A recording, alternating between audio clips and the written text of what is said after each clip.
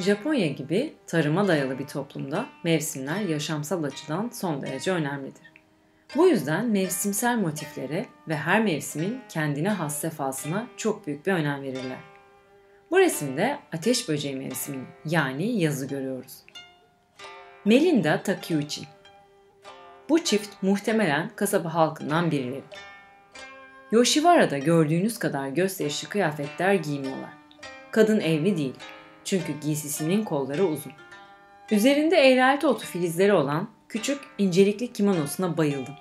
Yakından bakarsanız bunun tiril tiril bir kimono olduğunu görebilirsiniz.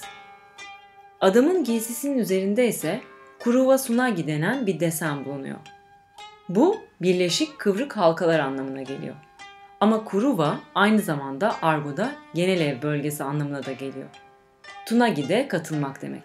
Yani Kuruva Sunagi hem birleşik kıvrık halkalar hem de zevk mahallesinde bulunmuş olma anlamlarına gelebiliyor.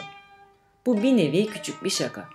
O dönemde yaşamış biri bu baskıya bakınca bunu hemen anlayabilirdi. Sanatçı Suzuki Harunobu, baskılarda renk kullanma konusunda yenilikçi biriydi. Sofistike, varlıklı ve talepkar samurayların sürekli müşterisi olduğu Harunobu, baskıya lüks eklemeler yaptı. Kalıplar teorik açıdan sınırsız sayıdaydı. Kullanılan kalıp sayısı durmaksızın artınca, hatta bazı baskılarda yüzden fazla farklı kalıbın kullanıldığı rapor edilince devlet bu işlemin çok aşırı olduğuna kanaat getirdi ve en fazla 7 kalıp sınırını koydu. Böylelikle bu görsel sanatlar her açıdan denetim altına alındı ve incelemeye tabi tutuldu. Bu şekilde insanların tutumlu ve edepli olmasını isteyen toplumsal düzene karşı gelinmesi engellenmeye çalışıldı.